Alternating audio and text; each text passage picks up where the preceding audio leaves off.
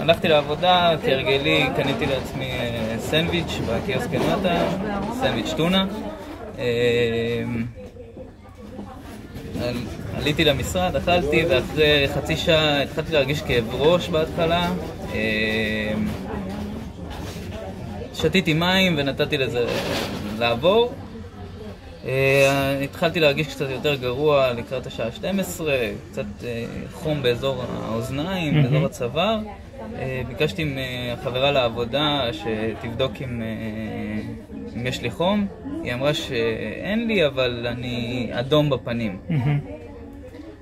הסתכלתי, הסתכלתי על עצמי, ראיתי גם שאני אדום פה, אחר כך הלכתי, הסתכלתי במראה, הורדתי את החולצה, ראיתי שממש כל אזור החזה נהיה אדום.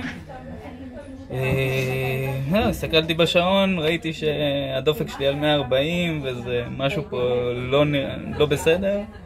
התקשרתי למוקד אחריות של כללית, שאלה כמה שאלות, היא אומרת לי לא לזוז, שיגיע אליי, אליי אמבולנס והם ייקחו אותי לבית חולים.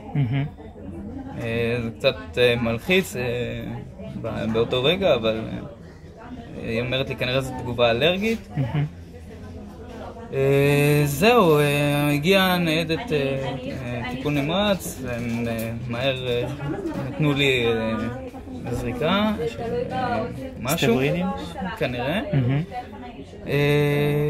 והביאו אותי לפה, ופה בבית חולים מטפלים בי, נתנו לי עוד כדור של משהו לאלרגיה, מחובר לנוזלים. זהו. איך אתה מרגיש עכשיו?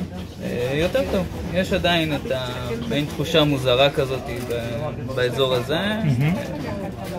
זהו, אבל בסדר. יותר טוב ממה שהיה מקודם.